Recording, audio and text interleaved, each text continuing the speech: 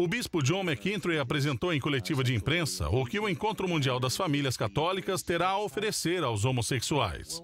O arcebispo disse que o evento contará com uma palestra direcionada às questões do homossexualismo, dada por Ron Bengal, um católico gay e fundador da iniciativa de amizade espiritual.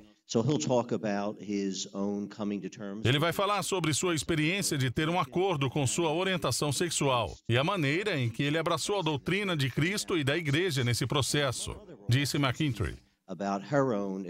Sua mãe também vai falar sobre sua própria aceitação da orientação sexual de seu filho e lançar luz sobre toda essa experiência, a partir de sua perspectiva como uma mãe dentro dessa realidade no seio da família concluiu.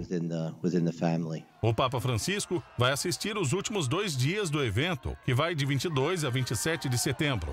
Grupos e famílias chefiadas por gays católicos tinham pedido uma presença oficial na reunião, que deverá ser assistida por mais de 15 mil pessoas que ouvirão palestras e participarão de oficinas sobre questões familiares antes da chegada do Papa.